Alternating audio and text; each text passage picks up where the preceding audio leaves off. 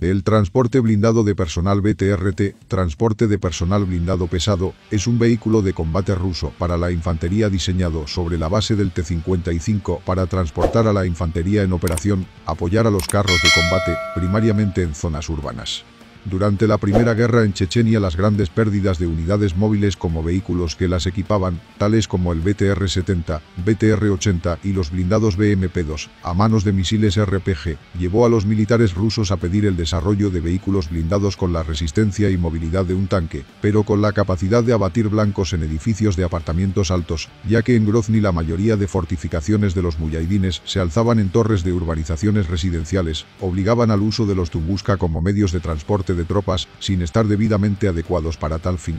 Luego, y ante el deterioro del gran parque acorazado terrestre ruso, se decide el reusarlo por medio de labores de reconversión, luego de ver los exitosos resultados de los israelíes en tal materia y con material de construcción soviética, probándose como una solución bastante económica y provechosa, pero sin ser totalmente aceptada en el ejército de Rusia se basa prácticamente en el casco del T-55A, pero con una motorización y transmisión más modernas y eficientes que le otorgan un mayor radio de alcance y una menor presión sobre el suelo, ya que al retirarle la torreta le quitaban cerca de 8 toneladas. Su velocidad tope a su vez se incrementó y se le dotaría con armamento similar al instalado en el vehículo antiaéreo Tunguska, pero con obvias adaptaciones al rol antipersonal. La elección del casco de un T-55 por encima de cascos más modernos se decidió en base de que muchas de las posibles naciones que lo adquiriesen, mayormente anteriores clientes del T-55 con limitaciones presupuestales, y que lo llegaran a ordenar como una forma muy válida de reconversión y una muy valedera solución para el quehacer con los T-55 retirados o en uso alrededor del mundo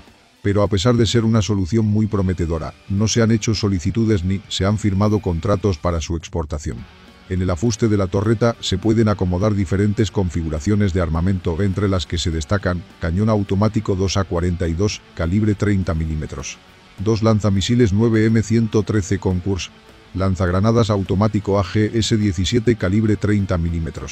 dos cañones automáticos 2A38 30 mm, dos misiles 9M113 Concurs, ametralladora NSBT en afuste lanzagranadas automático AGS-17 calibre 30 mm en montajes duales. Las características principales son peso 38,5 toneladas, longitud 6,4 metros, anchura 3,2 metros, altura 2,4 metros, altura sobre el suelo 47 centímetros, tripulación 7, conductor, artillero radiooperador, 5 soldados con supertrecho blindaje, 600 milímetros de acero y materiales compuestos, Contact y Contact 5 era, adicionales. Arma primaria, un cañón 2A32 o dos cañones 2A40 calibre 30 milímetros. Lanzagranadas calibre 30 milímetros automático. Arma secundaria, ametralladora PKT de 7,62 milímetros coaxial ametralladora antiaérea, una ametralladora NSBT de 12,7 mm planta motriz, un motor B4662, diésel policarburante de 780 HP.